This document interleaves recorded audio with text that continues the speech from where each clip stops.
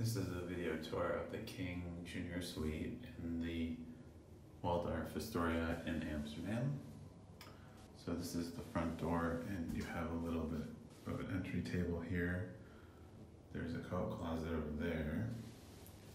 And this is um, the desk area. They have complimentary water in the glass bottles. Um, climate control there's a TV here, and on the third floor here, there's the windows are just sort of on top.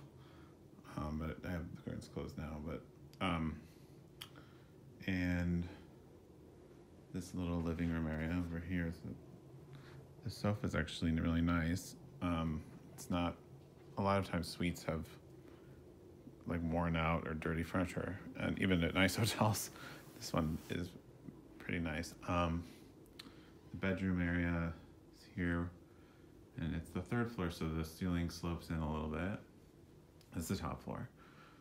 Um, I think that probably is the radiators. I'm, I'm sure. Um, yeah, there's like a heating system in there. Um, but it's it's warm in the hotel. It's about 50 out right now in October. So the bedroom area is pretty nice. It's um the bed's comfortable. It's a little firm, but it's actually very comfortable. Um, and they have it's kind of plain in a way, but I don't know. Like they didn't overdo it with the grandeur. But they have like, you know, the wainscoting and things and um, there's a really nice view out here, but it's dark. So I'm gonna splice in a picture of what the view is.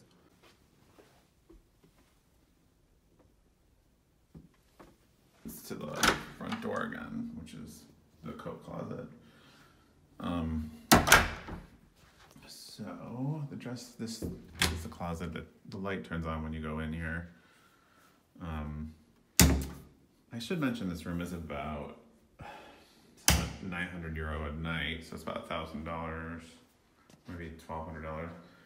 So a bit pricey, so um, but they're incredibly nice here, and the types of things like they'll do. It's just I'll I can go into it more, but um, so the bathroom is here. I was actually, I mean, this is gonna sound stupid, but to be honest, I was surprised that this is just ceramic tile in a hotel like this for this price. I mean, this is obviously marble. That's ceramic tile, and that's just kind of your standard this is kind of, I don't know, it's nothing really. It's kind of what you'd see in an airport. Um, just surprised me a little bit. Um, I clearly moved in already, so there's the vanity with the mirror and there's robes, the nice bathtub, which, oh look, it has a little pillow. I didn't notice that before. And then you could go for a soak while you watch your shows. Um, guess I don't know how to turn. Are the towels always warm? Some hotels, when you turn the light on, the towel warmer turns on, but I don't know. I actually don't even know what this is, but that's okay. The lights, I think, are almost all LED. They have that like. I mean, I know hotels have to do that now because of energy savings, but it has it's a little harsh. The light, so it's the only thing I'd say. Um, in terms of service, I mean, I talked about it before, but I mean, I they're unbelievable. Like I said to them, um, I have I have eye allergies, and so I use this this sinus rinse, and I I just have to buy distilled water, and I I just kind of mentioned to them, do you know where I can find distilled water? Like, oh no, no sir, we'll bring you distilled water. Look at this.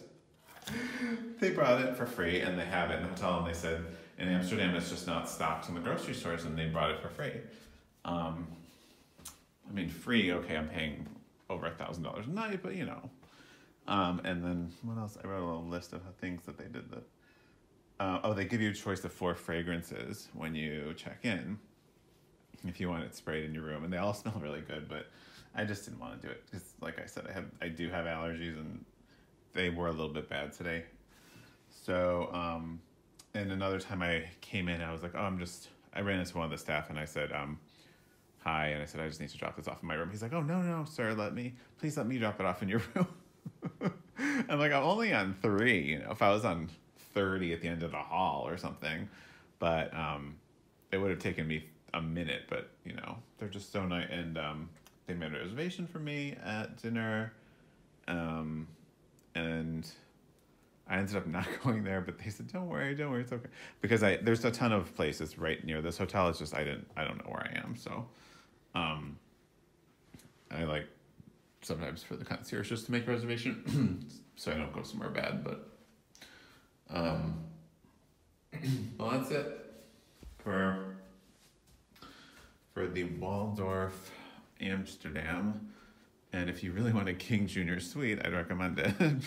I well, to be honest, I think this is a great hotel if um, the price were a little bit lower. I understand why it's this expensive, but if you, I would stay here again for sure, but a, a lower price. Oh, also to I should note it's silent in here. You could hear a pin drop, yet we're in a good location, and right outside the door is a lot of things. The H the air system is very quiet. There's like no noise in here. Um, there's it was. I don't like when the the sun wakes me up like at six in the morning. So, um, they they actually have like Velcro on the sides to keep the curtains like. So I mean, they really go to every. Um, they they really took a lot into account.